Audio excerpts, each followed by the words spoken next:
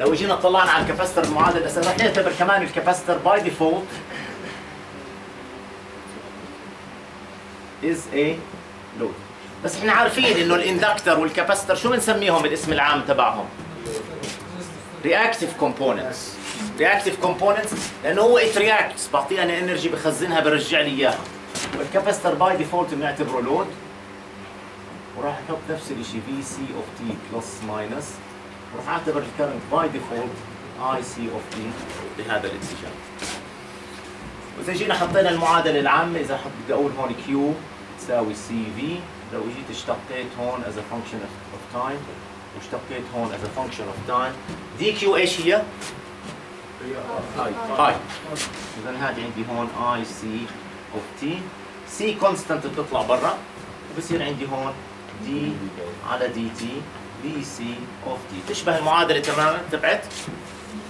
ال inductor كانت معادلة ال inductor VL of t تساوي L d على dt IL of t هاي هون ل inductor.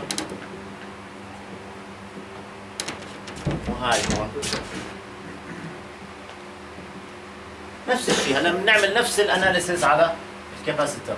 فبنيجي بنقول هي عندي هون ال capacitor بهاي الحالة. في الحالة العادية راح أفترض إنه لما يكون هو load لما يكون load عندي VC of t إذا جيت حطيت ال power هون من zero ل t هي IC of tau VC of tau d tau tau بنسميه dummy dummy variable okay. فهي ال power فإذا كان هذا positive وهذا positive حسب الاصطلاح راح تكون عندي ال power المخزنة أو هاي عفوا هاي ال energy وحدة ال energy صحيح هاي وحدتها انرجي إيش وحدة ال energy joule هون عندي أمبير فولت seconds فعندي هون إذا ما صار يمر ال current بهذا الاتجاه IC of t وهاي plus plus minus VC of t هذا عماله بيتحول هذا في الحالة هاي عماله بيشتغل إذا كان ال case 1 اللي كان ال current positive أو يعني خلينا نقول case 1 إيش اللي بده يكون هلا positive ال voltage عم بزيد.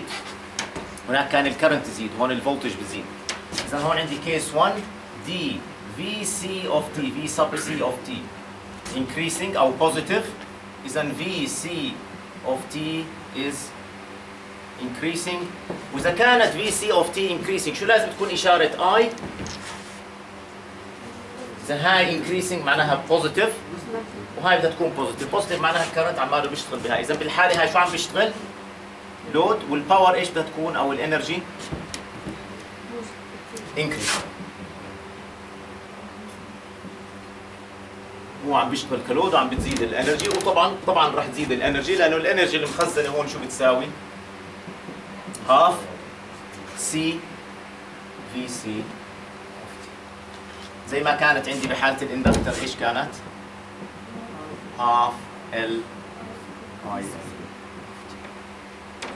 هاي وحدتها joules وهاي وحدتها joules إذا عمالها بترتفع بتزيد الطاقة عندنا هون. ونفس الشيء لو رسمت ال current راح تلاقي ال current تغير فجأة. هلا بنرسمه. يعني إذا كان ال voltage عماله بزيد وفجأة بدا ال voltage ينقص إيش فجأة راح يصير بال current؟ راح يعكس اتجاهه. هل بصير ال current يتغير فجأة هون؟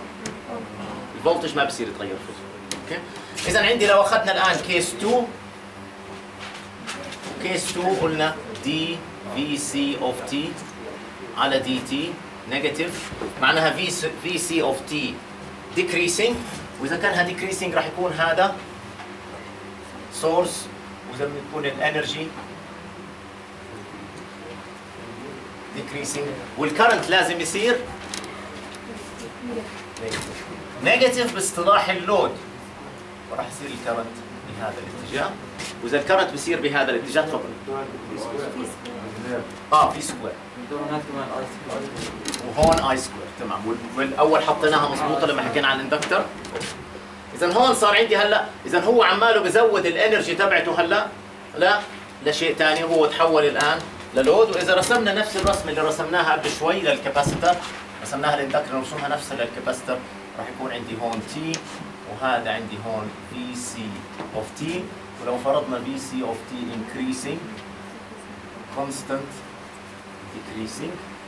أو حتى نخليها increasing decreasing وبعدين constant زي ما عملنا قبل شوي. راح يكون عندي بهذا الشكل هذا الشكل.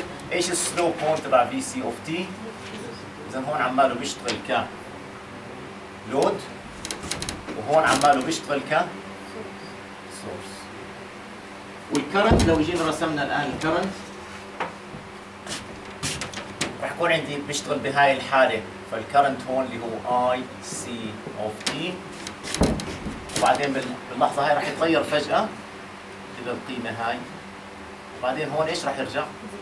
zero. لأنه بال case ثلاثة إذا بدنا نسمي هاي case ثلاثة لا هو source ولا هو load عندي ال capacitance حطيت voltage على ال capacitor وضل مخزن الطاقة ولا عماله بعطي current ولا عماله باخذ current فهاي اذا هي dual nature تبعت ال capacitor بنفس الطريقة.